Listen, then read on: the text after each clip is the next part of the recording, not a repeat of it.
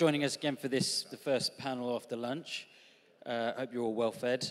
Um, my name is Anuj Desai. I am a lawyer and host of a podcast called The Cannabis Conversation. Um, this panel today, we're going to be talking about your legal rights as a cannabis patient. Um, so I'll just quickly introduce everyone. Uh, we have Elisabetta Faenza, who is chair of the Standards Working Group for the Cannabis Industry Council. We have Tom Whettem, who is CEO of British Cannabis um, and Canda. Um, Richard Fitzrobin, who is a trainee lawyer and magistrate. And we have Jason Reed, who is co-exec director of LEAP UK. Uh, another great lineup here, and um, it's a really important topic. Um, before we get cracking, would each of you mind just quickly introducing yourself and tell us a bit about your background and your relationship to cannabis? Sure, sure. Uh, so while I don't have a condition that uh, cannabis uh, is a treatment for, I was born with a rare condition because I have elevated levels of neurotransmitters, including most cannabinoids. Um, my parents lived through the whole diagnosis of your child is going to die before she's three um, accessing experimental treatment, selling their house to afford the treatment, going to a different country with me to undertake the treatment, me being really fortunate to have survived it as the only one that did survive it as a child. Uh, then having four strokes at the age of 11, and then discovering uh, that the science had moved forward enough to be able to tell my parents what it was I had, and that was that I, am missing enzymes, so I can't reabsorb neurotransmitters. They circulate for a very long time a superpower and also a danger, depending on where my levels are. But watching my parents struggle, watching health-induced poverty, um, watching what happened when I became an adult and I could not access paediatricians anymore and there were no, you know, adult uh, doctors for adults with my condition because I was the only one in Australia and literally just having to wing it, you know, and I'm, I'll be 60 next year, so I've really outlived the prognosis that my parents were given. Um, and as an adult, you know, I learned a lot about my condition as cannabinoid research and endocannabinoid research developed. It gave me more answers than any specialist had ever been able to give me. And so for the last eight years, I've dedicated myself to um, learning as much as I can, advocating for patients, advocating for better standards, uh, better safety in medicines, uh, working with government to try to change their minds uh, about the medicine in both Australia and now in the UK. So it's a real honour to be here and to be able to be, you know, at this conference. So thank you. Thank you. And I'm, I'm now chair of standards at the CIC. Great, thank you, Tom. Um, yeah, so I'm from British Cannabis. Um, started our journey about eight years ago now. Um, obviously in the CBD sector, but one of the main things that brought me into the industry um, from the other businesses that I ran was just seeing that typical video online of, of a kid called uh, Jaden in the States that had his life, life transformed by uh, CBD. Um, from that day, I, I, I, that was when British Cannabis was born and we, we built up this company to really change the lives of people like we saw with that little child. And, and that journey has been incredible for me, very rewarding. Um, the daily emails that we get, that feedback, and just seeing the impact that we can have on people's lives has been the drive that has brought me here today. Um, now, obviously, we're very positioned within the CBD space, but um, now I'm, I'm here today, sort of back seeing some of the very old faces again, but some very new faces. Um, and seeing where the market is now, and there's been some significant change, but there's obviously some more change to come. And I've taken everything that we have learnt in British cannabis, dealing with the users of CBD, understanding their pain points and developing protocols and standards in the CBD sector.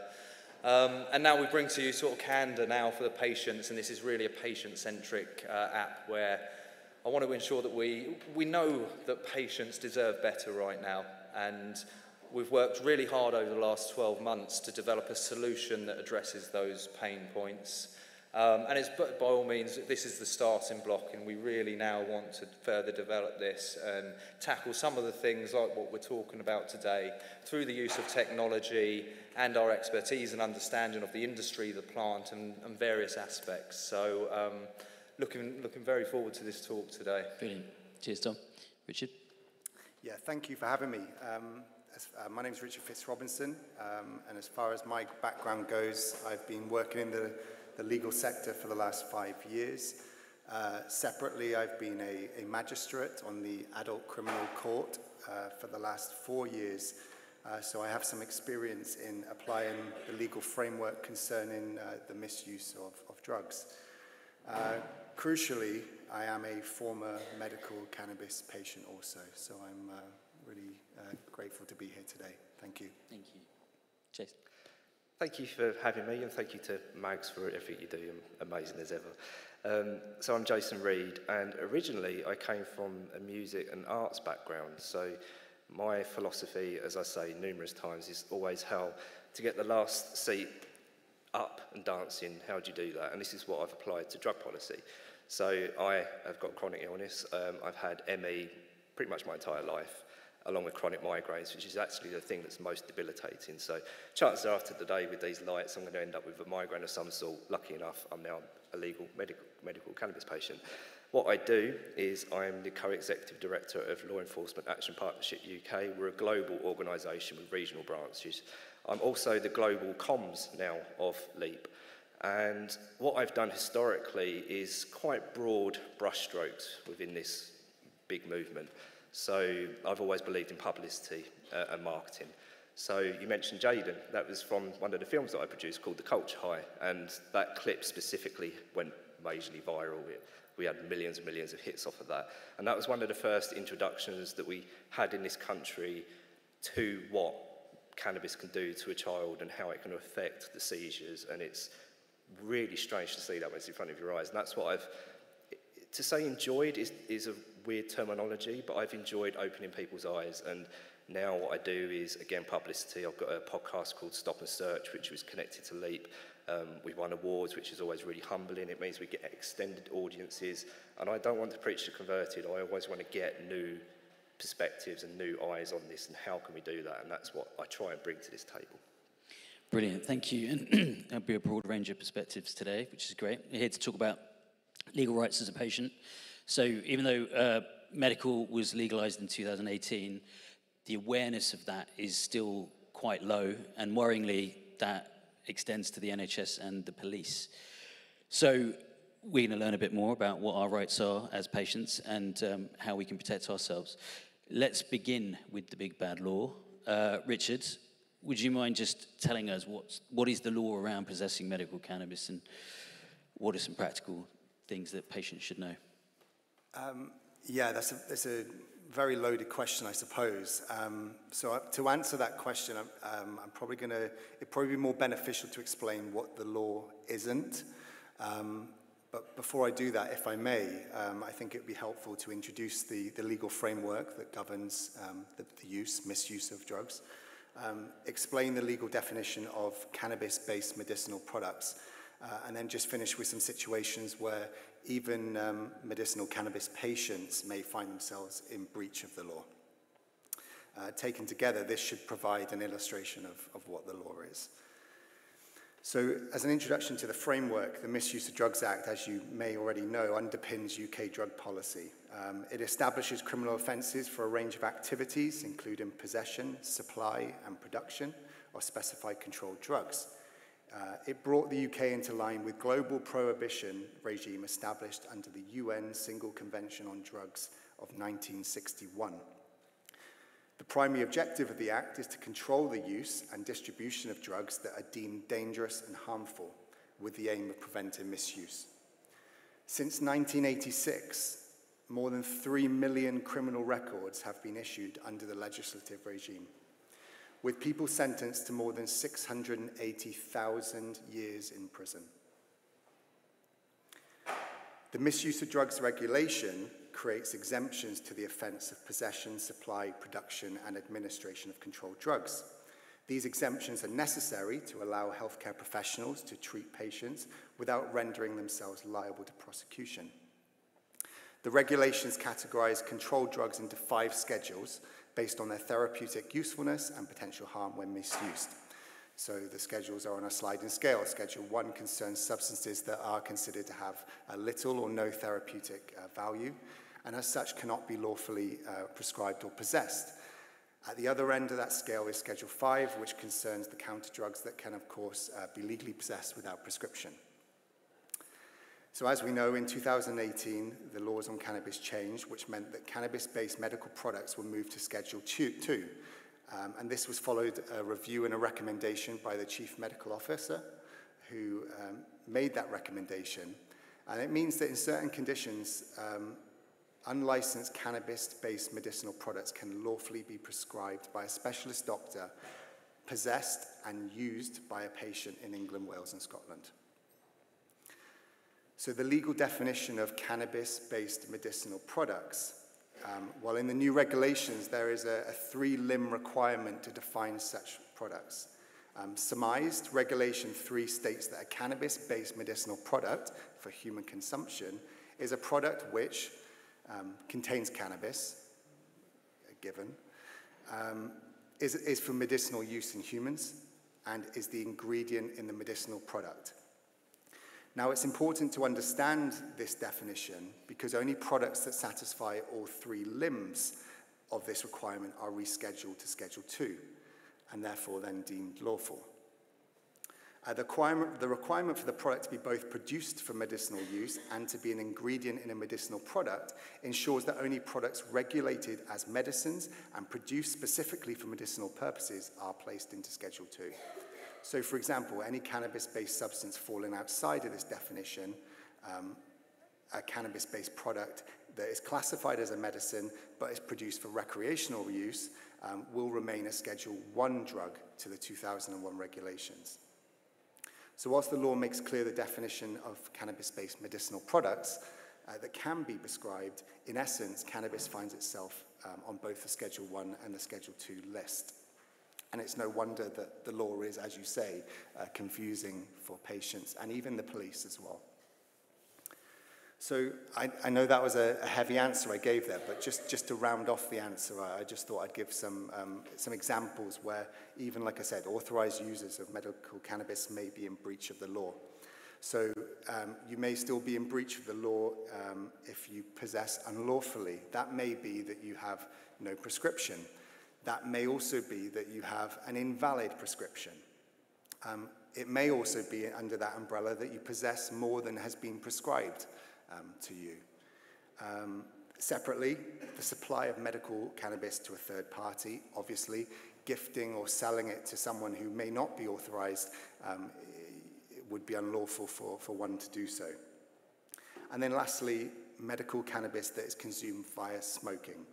Um, the regulations of 2018 explicitly prohibit this. Um, so I think that probably answers the question. That I'm was, just, I'm sorry to... No, no, no, brilliant.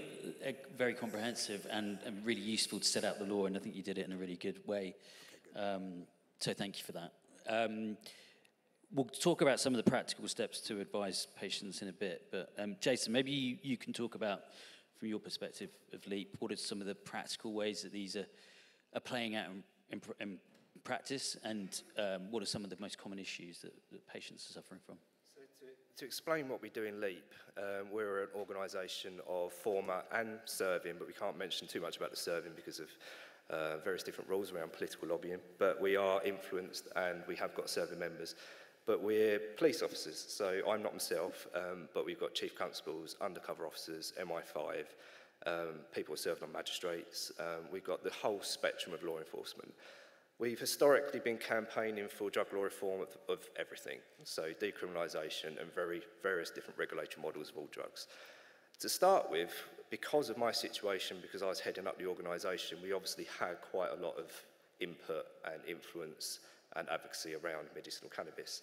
But then within the campaign frames when they were being proposed in 2016 and then later on in 2018 when the legislation started getting pushed through, we, we ended up backing away a little bit because we just weren't really needed because everybody else was taking care of it and doing a good job and making the progress that was needed.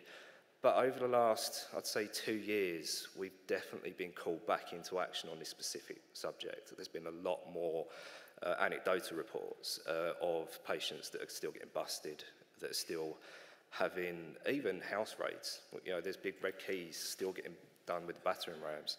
Um, there's, I think, I think there's probably four identifiable points that we can make of why we're getting back more into this space. And one of them is the police. The bobbies on the beat don't know what they're doing. There's, it's, I think Sapphire, the clinic, have got it on their website that a third of all police officers have no idea this even exists. So that's how much is in the dark still. So how are police officers supposed to make rational choices when they don't even know? So somewhere along the line, the information isn't getting fed in. So that's one identification. The other one is stigma. There's still a lot of stigma around landlords, neighbours. So you've got this secondary raft of harms, not just because of the criminal justice system, but you could lose your housing, you could lose uh, friends even. You know, it's just simple things like that. So the stigma still very much exists because of what the laws are doing. There's another aspect, um, it may have been addressed today, but I think it's in the early stages of getting addressed, and it's, again, mainly anecdotal at the moment, and it's exploitation. There's a lot of gangs that have cotton onto this, that they know a legal system exists, that it comes via courier, and there's a lot of exploitation and robberies and things like that are going on. And I don't know how we're going to address that right this moment because it is very concerning, especially for the patients that are already vulnerable. And again, it largely exists anecdotally at the moment, and I'd love for there to be more publicity around it because I know of two cases personally, they're not willing to go ahead with publicity just yet. Um, but there might be more people that are connected to those cases. And also, the fourth point, I think, is the two-tier uh, system. So if you've got mental health notes, and I know people, again, that have been massive advocates for getting this pushed forward, that have been doing this for decades, but they're still excluded from the medical system because of mental health notes. And that, I've got survivor's guilt on that because of uh, being a, a patient myself. I just, I can't have a system where we're still leaving people behind that have fought for this so hardly. And when the 2018 legislation came through and the 2016 campaigns were starting to be formed, I was a little bit critical. I believed that we were getting somewhere with the full conversation around cannabis and that isolating it down to medical can sometimes have detracting factors, especially with regards to what we just said about within the police. The police don't know what they're doing. You've got one vaporizer there which is illegal cannabis and one vaporizer there which is legal cannabis. How are they going to make a discretionary arrest? It just is still a lot of bonkers legislation when you look at it in the round. I was quite critical of, of the, the, movement of getting the way the approach was. And I almost think, and I still almost think, that we needed the segregation of almost paediatrics and adult use as opposed to medical and recreational use. The frames are interchangeable and we can, we can paint as many different um, marketing frames as we want, but that was always on my mind. And the concerns I had back then have definitely come to the forefront now. The fact we are getting these testimonies from patients saying that we are vulnerable for both from gangs, the police, confiscations. And of course, you've got to remember, if you have got a prescription and you're reliant on that prescription and it gets confiscated, the detriment that that can do to your health is just, you can't actually put it into words. You know, this is, this is a tangible experience for those people that are going through that. And that's why we need to educate the police. And that's what we're trying to do more of now. And some of the conversations we're having within the police, we can't make public yet because it's obviously discretional. But we are doing a lot more now on educating both off the record, but we're trying to get more and more on the record now. There's a coalition of us that are having some uh, conversations. And that's what we need to do now is make aware of how big this picture is, why the current laws are so muddy, why there's stigma, and why the police need to be getting more involved in this in a positive way. Thank you. Um, I mean, each one of those aspects could be a talk in itself, I think. And um, what's really great is that you're you know, you're all involved with the police to begin with, so you can, you know, at least have a bit more credibility when engaging with them, and hopefully that helps. Um, so thank you. Um, I think a prevailing theme amongst all of the panels has been around education and awareness. So, Elizabeth, it would be great. To, it, obviously, it's important, but you know, where where do you see that fitting in, and how are the CIC trying to kind of help that? Education is crucial. Um, my experience in Australia you know, prior to moving three years ago to the UK uh, was sort of at the forefront of that education and change, and, and that really has led to you know, a, a million scripts in Australia, uh, much bigger uptake, magistrates refusing to prosecute, driving uh, prosecutions when the person has a prescription now. So there are magistrates saying, I'm, I'm, I'm dismissing this case.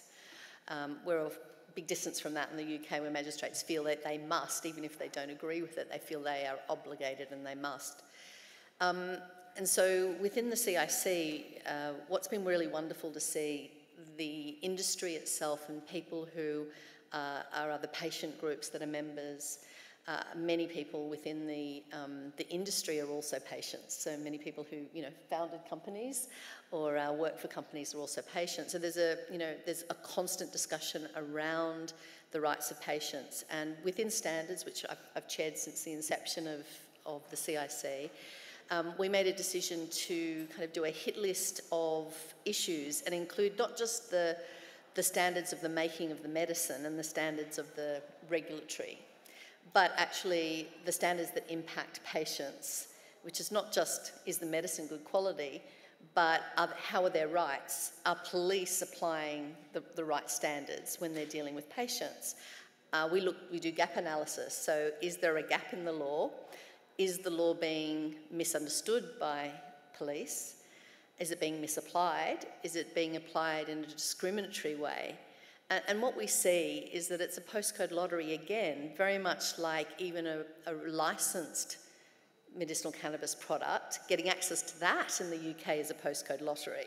You don't have equal access to those products that are licensed. You don't have equal access to um, cannabis based um, products for medicinal use in the UK because you need to have enough money, you need to live in right, the right postcode to even know that you can get access and then you have to you have to get your your care record, right? And a lot of people that's they're too unwell to do all of that. I'm a carer. My husband is a medicinal cannabis patient, so I do that for my husband.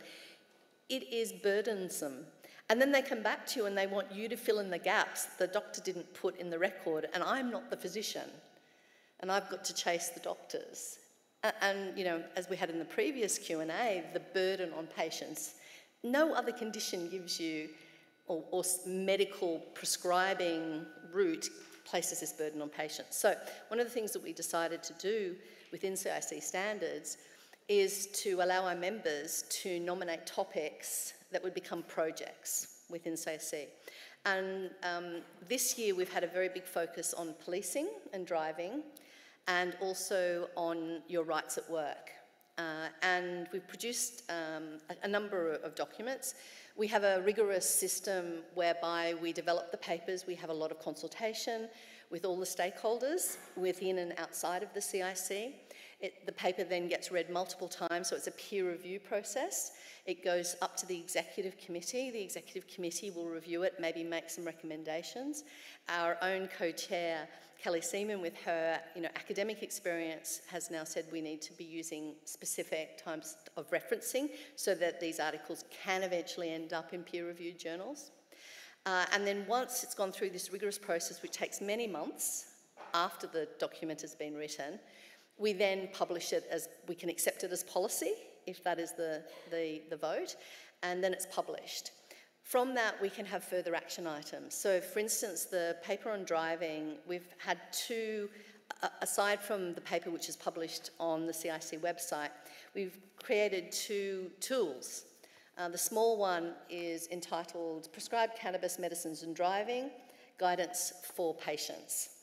A nice small leaflet that you can have with you so that you can understand your rights and understand what to do in order to make it unambiguous if you are confronted by a stop and search or you're pulled over while driving. And the second bigger document is Prescribed Cannabis Medicines Possession, Use and Driving Guidance for Police. So a we big, liaise a bigger document. A big document, uh, because what we found, and, and Guy Coxall and Francis Crewsden uh, were really instrumental in the writing of this paper, uh, each of the projects will have champions who lead these projects, and then my job is to just keep them on track and make sure people can, can get access to the right resources. So they've produced a fantastic set of documents. You can access these documents, go to Seed Our Future's stand here and see Guy. Um, he has a limited number printed, but he can give you the QR code to access it from the website and download it. It's completely free. Uh, and um, the other paper that was written that has been led by Guy Coxall as well and Mohammed Wasway, some of you might know Mohammed as Ish, um, and that's the use of prescription cannabis at work. And this is another area where people are really discriminated against and don't know their rights. Uh, and, uh, and can sometimes lose their job or feel very afraid to tell their you know, their employer that, that they're a med- medicinal cannabis patient. And this is a, a, really important paper. And there's a third paper that is being developed, which is really around more the housing and within the law uh, around, you know, uh, eviction, um, complaints by neighbours, but also around custody and if you are uh, under the care of, of, Social Security. So these are really important subjects. That paper will come out very, very shortly. Um, in a little while, the use of, of, prescription cannabis at work is imminent in a published form and will be uh, up on the website. So you don't have to be a CIC member to access these, so please feel free to use these resources. Um, and, you know, feel free to give them to others. Let's educate as far as we possibly can. Yeah, thank you so much, and that's brilliant work that you're doing, and I think really highlights just how many battles that need to be fought on, on many levels. Um, Tom, let's bring you in now. Um, maybe you can give us a business perspective on this, and do you think industry could be doing more? Obviously, it's not in the business interest for your customers to be getting arrested for buying a product. So, yeah, what do you think of that in general? Well, look, business perspective, I suppose I can only give my perspective, but then I can move on to say what I, I see in the rest of the industry. But look, let's just start this. It's shocking what is going on today. We've got medicinal patients that are being treated unfairly. And look, the deep dive we've gone on now with Canda for the last year has all been about addressing what are the pain points for patients, how are patients being treated, how can we make patients' lives better. And through that process, where I've been intrinsic in the development of this app, I have been absolutely shocked. Why are patients that should be able to take their medication being restricted from doing so? And look, we have these clear cases, like with the police, which are absolutely wrong. But for me, it's even the smaller things. When we go to a hotel, when we're taking, doing some travel, when we're doing anything that any normal person should do, we should be able to use our medicines. We wouldn't restrict people from using inhalers for asthma. Why are patients being refused? So look, for me, my perspective is it's shocking. Looking at other business, now look, we, we have a scope of businesses in the sector. We have organisations that are, are, funded with very small funding, that, that don't really look after profits, that are looking after patients, like, like organisations like the CIC and other trade bodies or, or community groups.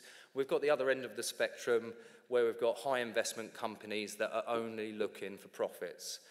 So, again, my perspective here is where do, I, where do we come in? Um, for, for Canda and what I believe in improving the rights of, of patients, we wanted to ensure that we addressed all of, all of these pain points. You can't get away from the fact that, that businesses need to make money. You can't get away from the fact that you've got community groups which don't have the financial power to do so. But look, we've been in this sector for eight years. Everything that's driven me personally with British Cannabis for the last eight years has been about improving the lives of people. When I started this journey with Canda, I wasn't aware of the certain aspects of what we were going to deliver.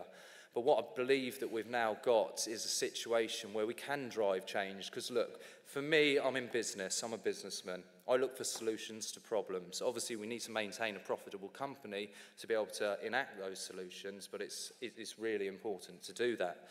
Um, and, and looking at this, look, I, I think there's some amazing work being done by people in the industry, going back to the start of the CBD sector, where I was very heavily involved with MHRA when they tried to shut it down, involved in Europe, involved with setting up the CTA at the time. Again, that, that's great that we can do that, but look, business can do more. We can change things with solutions within business, and that's exactly what we've tried to do with Canda. Now, we've got the Canda card, which I won't go into detail about, but it's got, got all your details on, like your prescription. So it gives you that first level of protection if you face issues with police, with security staff, with hotel establishments. Now, if you face any issues with those establishments, if they're breaching your rights, and part of the app is educating you guys if your rights are being breached, there's the option there to then report that incident.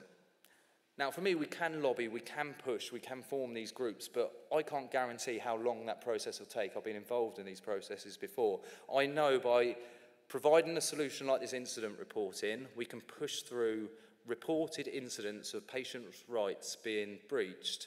And if we cause a problem for the police, and I think the police is the biggest issue that we need to address, but this goes across the sector, if we push enough complaints to them, there's a problem that they have to sort out. That then results in the change that we want to see.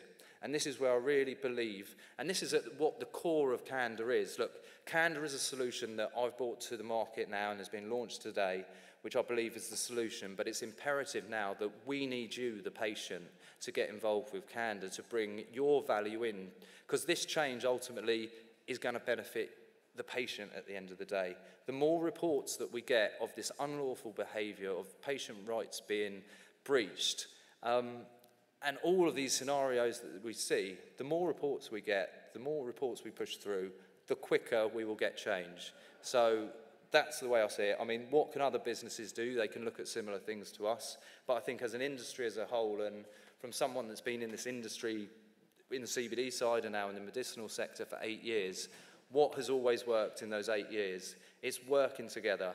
Now, everyone's got their commercial interests, but we've seen over those eight years, there's a certain set group of people within this industry that work together for a shared goal.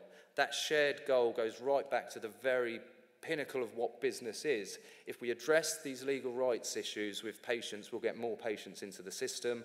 That's going to benefit business. That's going to benefit more patients coming into the system and protecting the health, really, of the, nation with cannabis and what we're doing. Yeah, and th- thank you for that, Tom. Yeah, I think it sums it up very well.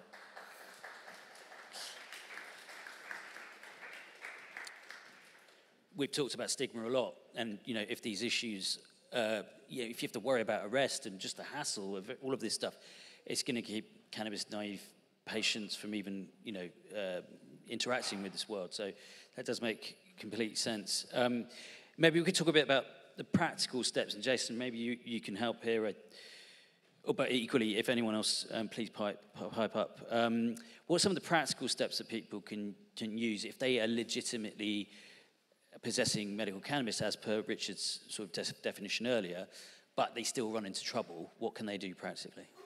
It's, it's a really difficult one to answer because ultimately there should be no issue. So you're de dealing with the discretion of the people that you're dealing with and the officers at that point. So if there are being a reasonable uh, and you can have a conversation, you should have all the mitigation you need. Failing that and you are getting confiscated, then you do have to take it further. You can potentially, one of the routes you could go is with the PCCs because they're there to set the mandate of what the, and this goes into the postcode lottery we were just speaking about.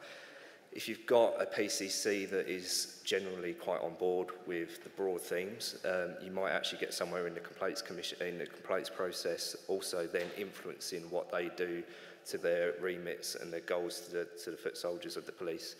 Um, and one of the things that we also have to address is in, within the postcode lottery is race. Again, we're still seeing within this sector, just as we're seeing in the broad cannabis sector, that you, if you are from a BAME background, you are getting more hassled still. It's, it's still prevalent. So we shouldn't be having any issues. And to have no influence is a really big, tricky question to ask. And again, where do we, where do we have the influence? Do we go to Parliament? And again, Parliament should know this. We shouldn't be having any influence there. It should be sorted. I, I do believe that the PCC route could be quite a good, decent route to, to chase, along with you know, going to chief constables. Um, the other issue with this, with the PCCs and the postcode lottery that we keep referring to, is we've just had a coalition of PCCs that was kind of backed by the Home Secretary to make cannabis a Class A drug. And this is where it then dovetails back into the stigma and what it does to the, to the um, the culture of policing. This, we say the word culture of policing a lot, and, and you, especially within the Met, and probably everybody in this room knows of the issues with the Met.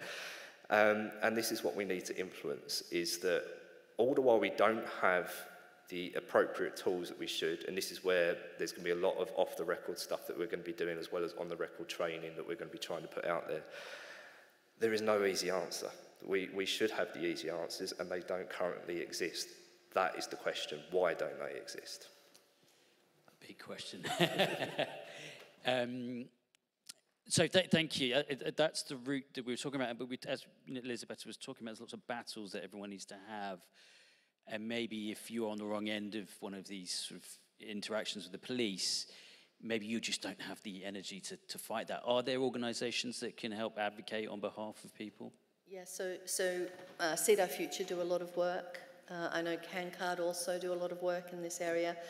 This was recently really brought home to me in a very personal way in that my Uh, my husband and I were out meeting friends for dinner. My husband's a, a medical cannabis patient. He normally only takes cannabis right before he goes to bed, but because it was going to be a late night and in a diff- different situation, he has complex PTSD, he thought if he gets anxious, he'd just take a little bit that he could use. He hadn't ingested it yet, but he had it on his person, uh, and it was way below the threshold for, for criminal conduct. And um, on the way home, he noticed that we were being followed by a police car. He's a slow driver at the best of times. We're in the country, country roads. He was slowing down as we were going into a 30 zone. He was, you know, made the speed limit, all of that. Sirens came on, we got pulled over, and he said, Someone has dobbed us in. That was, that was his words. And I said, Oh, don't be silly. Like, they've just pulled us over for some reason. And they came to the window and they said, Sir, we don't see that you're insured to drive this car. We can only see a woman is insured to drive this car and I carry our insurance papers in the car. And I pulled out the folder and I said, My husband is the primary insured person for this vehicle. I literally checked it yesterday. I'm the secondary person. Check it for yourself. And they pushed it away. And they said, Sir, we have reason to believe you have cannabis on your person and you are driving under the influence of cannabis. My heart fell through the floor. I knew what was coming. So we got out of the vehicle. In, we live in a small country town. This is the country town next to ours. Everyone that went past this main street saw what was happening. They took him out of the vehicle, they searched me, they searched him, they searched the vehicle, they found the very small amount of cannabis. He'd explained he was a patient. I had tried to explain the rights, they told me to be quiet. Um, they, then he explained his condition, that he had a right to have the product on him, that he hadn't ingested it yet, that it had been, in, you know, he hadn't had cannabis for 24 hours. They called the drug detection team. We had to sit there for half an hour with everyone going past us, seeing what was happening. He was tested in plain sight of everyone. They said, we'll wait eight minutes for this test to show positive. It didn't show positive for 30 minutes and it barely showed positive, and they were over it like this. They then, then, they then uh, arrested him, handcuffed him, took him back to the main station. Uh, they told me where I could wait for him, that I couldn't come into the station. I then said, My husband has very serious chronic PTSD. They strip searched him, they cavity searched him, they humiliated him. They then said, We see you have complex PTSD. Are you at risk of self harm? He said, That's why I take medicinal cannabis, because every day I am at risk of self harm after being sexually assaulted as a child. And they just assaulted him. He was suicidal for the next month. That's why I do what I do. Yeah. This is unbelievable. And then he got a letter saying, Oh, you, you had under the threshold for possession. Um, you have to wait a year for the test to come back. If we pull you over again and you have cannabis in your system, it, you will proceed to a more serious charge and you will have immediate loss of license. So he has to wait a year. Oh. It's just. So it's not just, and, and, he lost his, you know, basically we had to surrender his, his cannabis at home. We were threatened with a house search. Then we were followed. Every time we were in our van, we'd see police vehicles circle around and come and follow us when we were driving. And then we found out that there was a major drug bust in that area. When my husband was in the police station after they had stripped and cavity searched him, they said, We can't find your criminal record. He said, I don't have one. But people like you, I'm sorry, he said, what do you mean by people like me? He said, drug users. He said, I'm a medicinal cannabis patient.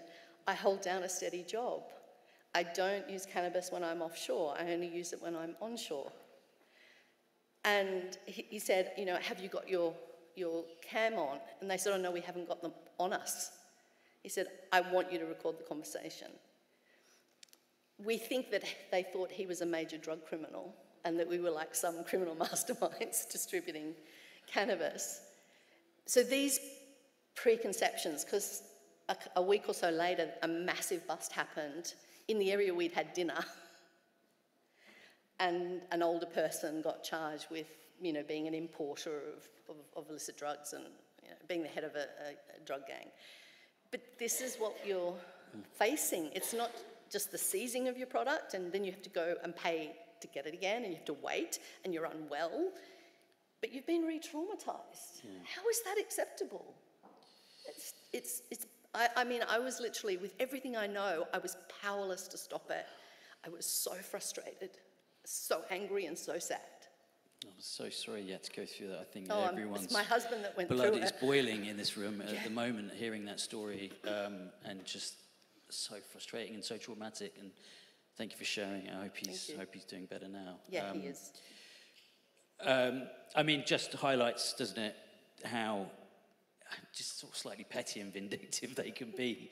Yeah. Um, and maybe there's some other context that we're not aware of, but that, that's just a totally infuriating situation. They, they couldn't believe that he wasn't like a lifelong criminal, that he didn't have a criminal record. This, was, this is the stigma, these are the assumptions.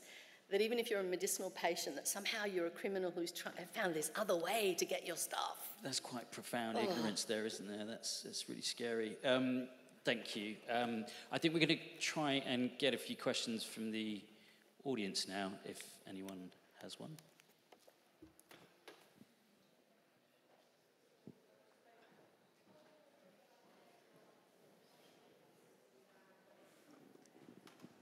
Hi, I'm um, a patient but also an appropriate adult, so I've got quite a unique position in that I have to take my medical cannabis into the police station to look after juveniles who might be have been arrested for possession. And I'd love to perhaps speak about how I could bring things with me and make sure that solicitors are aware as well of all the documents you're producing. So, thank you. and just anything, um, any advice you could give now of anything that I could use in those positions. So, so the person who's a real expert on this is Guy Coxall, who is in where the stands are. Um, he does an amazing job, um, and he's the person that I refer to you know, because he, he his life is fighting for patients that are in these sorts of situations. The, the damage to people's human rights uh, that occurs in this, so this is a massive human rights issue. It, it's, it's across all drug and drug reform, but cannabis patients at the moment are, are really being hit with it, and we're seeing increased action. I think some of that is around, you know, the um, Suella Braverman's saying that police need, need to apply the law, don't use your discretion. Um, and, and, and kind of saying that somehow they're going easy on people with small amounts of cannabis or, or, or medicinal cannabis or whatever. So I would go see someone like Guy who can refer you to other people, um, the right uh, solicitors, uh, the right advice, and help you to understand the approach to put a complaint in, which is our next step. Uh, and, you know, this is what he does, so I, I, would definitely go talk to him. He has copies of all the documents that have been produced. The irony was we were working on these documents before this happened to my husband, and it's like, uh. But um, yes, and I think we need to make those resources, those legal experts who are willing to work in this field and provide advice, we need to know who they are uh, and, and we need to know how to access them. And again, most people who are patients don't have the money to go through an expensive legal system. So how can we find a way to support patients so that it's not an additional financial burden mm. along with, oh, I can't drive now, I'm going to lose my job, all of those other things that happen with, with this kind of persecution. Yeah, absolutely. Tom? Yeah, yeah, can I just reaffirm that position, I suppose? Um, again, Guy is like a guardian angel for patients in this industry, working for free. I mean, already discussions we've had, I've known Guy for a long time. Um, any patients that are facing issues, he's there and supporting and can take you along that journey. But look, for me, it's all about in these situations what patients can do. We can't just rely upon businesses or organisations, what patients can do. So you can carry around documents like this. We're already looking to try and digitise some of this and bring it into some applications like our, our own and share that with other people. Obviously utilising Guy, but I think fundamental to this is where we do see change and where patients can really be the drive of that change. It's unfortunate that patients are the ones that are going to have to educate um, authorities, businesses, but if that's how we have to see change happen, that's what we'll do. And with the remarkable work of the CIC and people like Guy in supporting the patients, there's a vast amount of the industry here to help you. So reach out, get these documents, and uh, yeah, I think we can see some significant change in, in the future over the next few years. Um, now we're all working together. Yes, fingers crossed. Thank you. Uh, Jason. I'd, I'd definitely like to give a shout out to Release because Release are absolutely second to none. Uh, Drug Science works with them, and there's a card there that you can pick up out there that I've got. Release are absolutely superb for legal advice. They're non judgmental. Any legal advice for any drugs, but especially for this department as well. And just to quickly uh, go into what you said about the, the weird interactions you had with the police, not just what they did, but the weird interactions. And it's, it's because of the culture of policing. We're target driven. Crime isn't there to be uh, solved or managed anymore. It's a target driven service. So if you get your arrest rate up, you get more chances of promotion. So this is why they go for what we often refer to, it might be uh, derogatory to say, but the low hanging fruits. So if you do, if there is a detection of odour of cannabis, that's enough for a stop and search or a general search or even a strip search, which we've seen with, even with children. So that's why we need a complete cultural shift. We, we're not going to get away from small incremental steps. If we are going to address all of these different things that we've been saying about, is the cultural change. Yeah, and I think we saw the well-reported case of the two athletes that were yes. stopped and searched, and exactly. I think two officers were sacked as a consequence. Um, so yeah, it's, it's affecting lots and lots of people um, in different ways. Um, do we have another question? Before we move to our next question, I want to just reiterate that these purple postcards, which are all in your tote bags today, um, contain a QR code for a free download to our Know Your Rights on Medical Cannabis uh, free digital download, digital document. And this has been produced by Drug Science in collaboration with Release and with employment and discrimination lawyers at Mackrell Solicitors as well. So in addition to the fantastic CIC uh, materials which have been produced by Guy Coxall and the Cannabis Industry Council, please do make sure you've got a postcard and uh, just scan the QR code in order to access that document. And we're going to do our utmost to keep that information up to date as these things are always evolving. Thank you, Max. Hi, I'm Francois Ferreira from ECS Pharma. Um, I just want to express my feeling for Elizabeth and that story, and for many people in this industry who've gone through that. Um, together with Francis Crutzen, I've been helping in the background to help Guy write this document that was uh, released today, uh, and including, sadly, an attempt to try and, and help Guy find legal people in the legal industry who are prepared to take up the cases for some of these, these patients uh, there is an absolute desert of uh, criminal lawyers who, one, continue to work in the criminal justice system. I think that that whole sector is under enormous stress.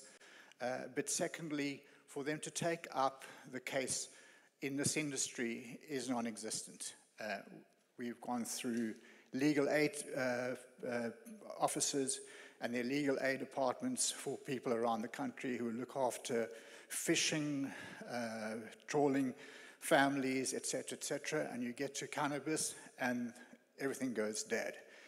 There is a guy, as he's mentioned before, uh, he works incredibly hard. I'm pleased he's not here, um, but he's, he gets paid nothing for it, and increasingly people are calling him because the only one with real knowledge, and he's, he's completely washed out through all the efforts that he's put into it. We need people like him, and we need him to train other legal advisors, and we need a network of legal uh, uh, firms who can be at the end of a call center line, where as an industry, if somebody has a similar situation that Elizabeth had, notwithstanding her knowledge of how to defend herself, you can say to the police, I want to call someone in this call center. And my call is that as a manufacturer, I would like to propose that part of our revenue goes towards paying towards a legal aid scheme. Uh, and similarly, patients could click on the button potentially when they buy their product to say, I want to make a contribution towards a fund that would support a legal framework and people at the end of a call. So when you are in that situation, you can have somebody say, please, could you speak to the policeman? And you remove quite a lot of this tension and all of that emotion around the situation.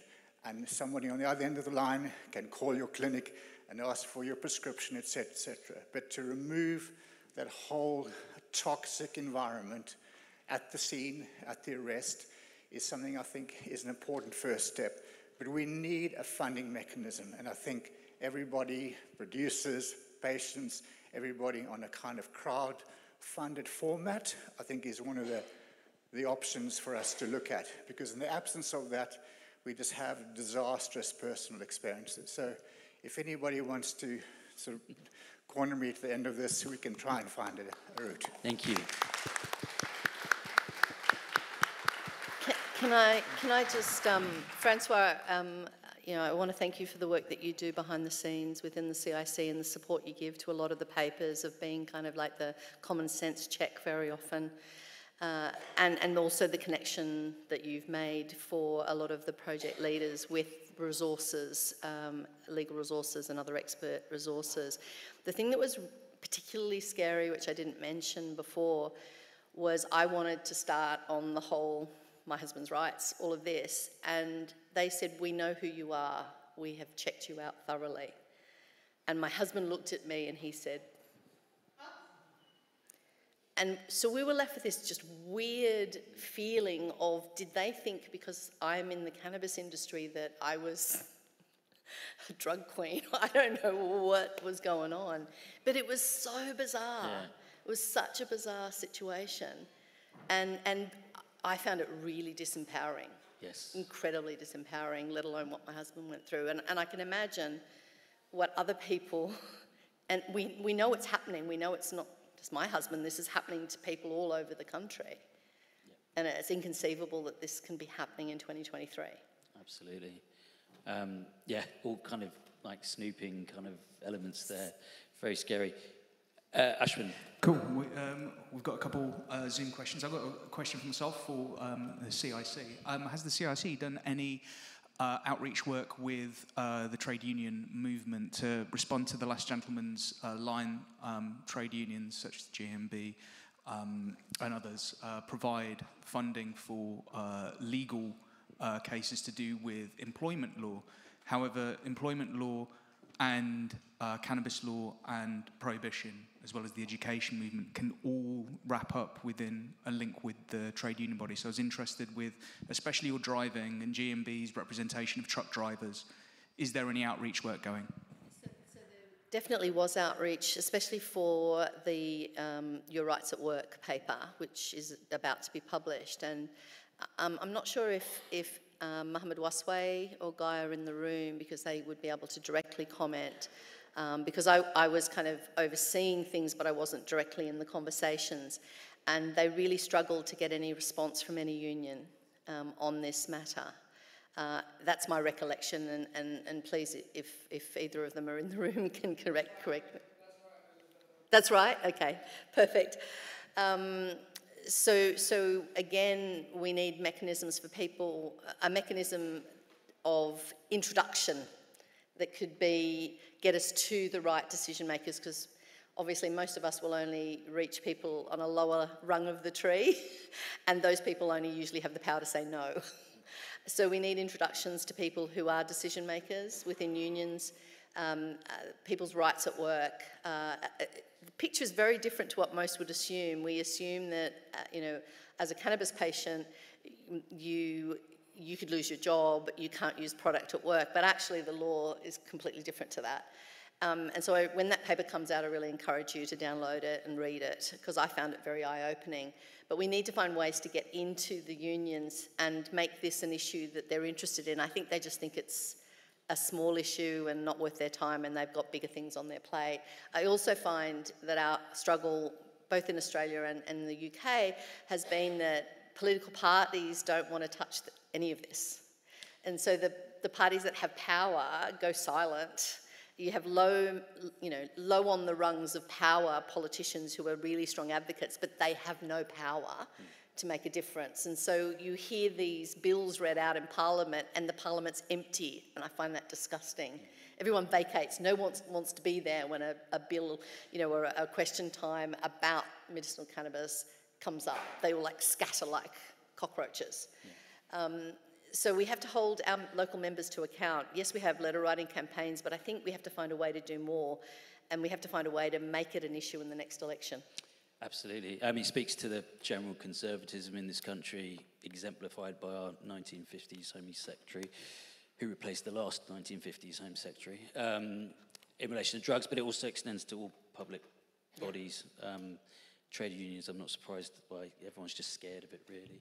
Um, I think we've got to, to wrap up now, so thank you for all the questions and thank you to our panel. Uh, please put your hands together.